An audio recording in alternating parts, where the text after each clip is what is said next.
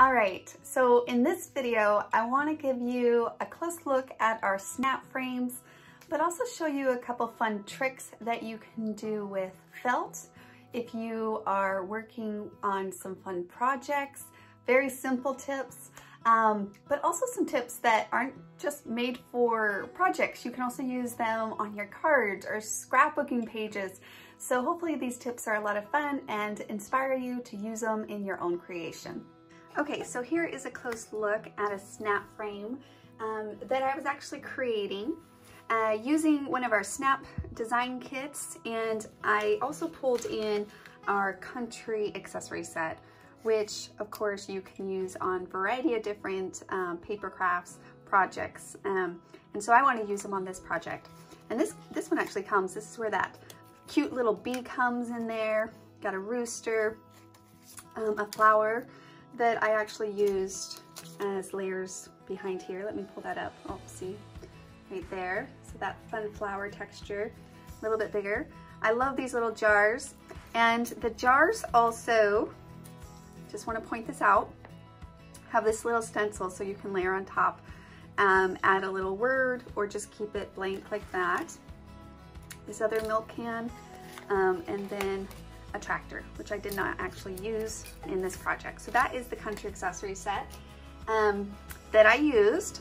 Now, as far as the other little elements, I have some extra flowers from Tiny Charmed, some from the design kits that we have, so make sure to check those out.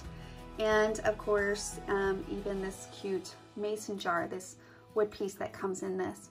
Now, before I adhere all of this down, I wanted to show you guys really quickly how easy it is to make these little felt centerpieces. Um, they're really, really easy. And then of course, even this fun um, different flower that is just made out of some circles. So I personally made this out of paper and this one out of felt, um, but you could do either one. You could make this out of paper and this out of felt in, again, various, just depending on what project you're working on. So let me give you a close look at how that is done. Okay, so first thing we're gonna do is just cut a strip out of felt and um, depending on how big you want it or how long you want it, that's completely up to you. If you want it to be a little bit thicker, then you can do a wider strip. If you are doing a bigger circle, like you want it to be about this big, then you would of course go longer. So first off, you're going to just take your strip whatever size that you would like. And I'm just gonna add some hot glue and I'm gonna put it down on the one side. And then when you get done adding some adhesive, um, you're going to just fold this in half like so. so. I'm just gonna fold that in half and attach the two ends together. Okay, then let me just quickly press that down. Then you're just gonna take your scissors and on the folded edge, so here on the folded edge, you're just going to make some clips, not all the way down, just about a fourth way down, um, like so. And you're just gonna clip it, um, the whole thing, just make clips. And they don't have to be exactly the same distance, um, just probably a little, about a fourth of an inch apart from each other. So you can just do as far as you want. And then it's really simple. Once I get all these clips done, we're just gonna roll this up and we'll have our really cute flower. Something you can use for bow ties. Um, if you're making hair, you know, hair bows or anything like that for any of your girls or daughters or granddaughters um, but also really fun on your projects and pages as well. And you can do this out of paper as well. So then we're just gonna start rolling that up. So I always like to start the first part really good and snug, and then you don't have to add um, hot glue all the way down, but just a good portion. So you're just gonna kind of roll it before that dries. And again, it depends on how big you want this to be, is how long you're gonna put that strip right? And then when I get to the edge, I always make sure I have just a good amount of glue right there on the end.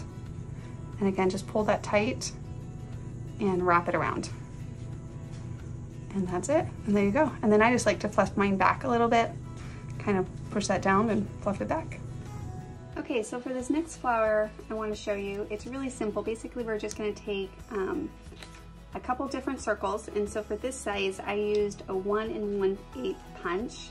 But if you want a bigger one, so like this one's a bigger one, you can use a bigger circle. So you can see same flower here and here. This one's done out of felt. These are done out of paper. Um, so it just, again, depends on what project you're working on. Um, but it's really simple. So basically what I did is I went ahead and punched five circles out, right? And then the next step would be to just cut into them about halfway. So you can see how I did that, right? So I did that with every single one of them. And then we're going to add some adhesive just here at the bottom. So this would be a glue dot or hot glue, whatever you want. And then you're gonna just pull that over and glue those together. So I already did these ones. So these are all bent over and glued. And then at this point, we're just going to adhere all of these together. And then that can make your little flower petal. Um, also, I wanted to point out that if it's kind of hard for you to glue those together, then one thing I would recommend is you could cut a circle base. So I would just cut a circle base maybe. And this doesn't have to be a perfect circle, but this just gives you something to glue these on top of. So I'm gonna go ahead and take my first petal and then I can add it to the circle. The next one, same thing. And that just helps just a little bit with um, gluing them all together. And if you want a fuller flower, you can absolutely do more petals. If you want it to be a little bit thicker. Um, so that's another little tip. I didn't do that with this one, but if you, it's something I wanted to point out. And then of course you can add your little center. Just add that right in and you have a really adorable, adorable flower like so. And again, it just carefully kind of bend those back. Um, now, granted, if it crumbles a little, personally, I think that's okay. Super cute. Add a little leaf and they're super fun. Hopefully these two techniques on how to make both of these flowers has inspired you whether you use these and try them out on your scrapbooking page, cards, DIY projects, they're very simple and a lot of fun. So I'm excited to see what you create using either one of these um, simple techniques. And of course, I'm really excited and happy um, with how my snap frame turned out. It's really, really cute. Um, I think actually, personally, I'm going to be giving this one to my mother-in-law as a gift. They make really great gifts, um, but they're also just really fun to add that creative personal expression to your homes, whether you display it on your mantle or your entryway, um, however you choose to, to use this. They're a lot of fun. So really, really cute. So if you guys have any questions, please do not hesitate to reach out to us. Um, you can join us in our community at kiwilane.com and any one of us from Kiwi Lane, any of our creative partners are here to help you guys out to continue to inspire you to live a more playful, creative, and connected life. Thanks for watching.